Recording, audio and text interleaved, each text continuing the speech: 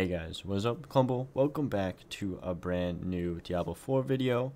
And in today's video, we're going be going over a dungeon that has a ton of enemies. Like the most enemies, um, like two or three times your normal amount. And that's because if you guys are afraid of spiders, then I this is really not going to be the dungeon for you guys.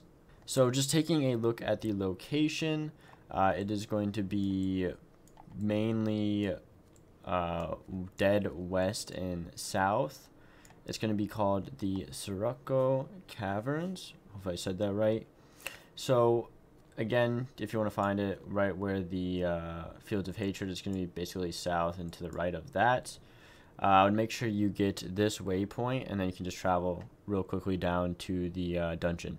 Once you made your way into the dungeon, the first thing you're going to do is going to defeat the Silken Spire. Now, there's two things what you can do with this dungeon. So, there's like a circle here and then a big circle. So, it's just two big circles. And the second one, I guess both of them, but the second one more is just a very, very thin pathway. With, again, if you're afraid of spiders or arachnophobia, just, just be cautious because this is going to be pretty much only spiders. So here is going to be the first Silken Spire, and as you can tell, it's just going to spawn a ton of spiders. Also, a lot of maggots. So you got to be really careful, though, about the uh, poison damage in here. So if you want to go a little bit more ranged, my build is a little bit more ranged, thankfully. But just, just be careful of uh, all the poison, because it can really creep on you uh, really quickly. So that's another one down, and well I noticed, see, I, I might die here actually. No, I'm good. So what I've noticed is that as I'm running through this, I'm getting about one to two legendaries per run as well.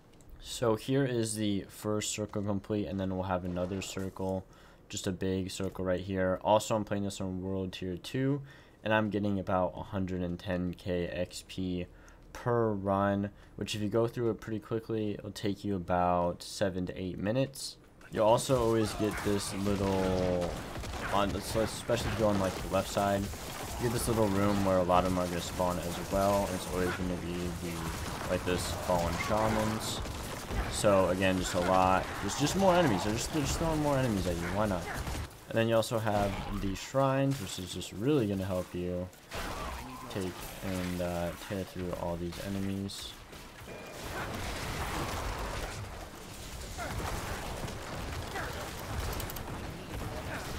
This is where just absolute chaos. So I kind of try to just again just keep my distance as much as I can.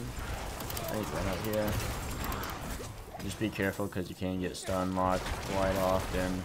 And there you go. Once you defeat those two uh, kind of big spiders, then you can complete the dungeon. And again, you could just go quickly and do this one circle and restart. But I just recommend just going through the entire just kind of big uh, square here because uh, it's just it's just so many enemies.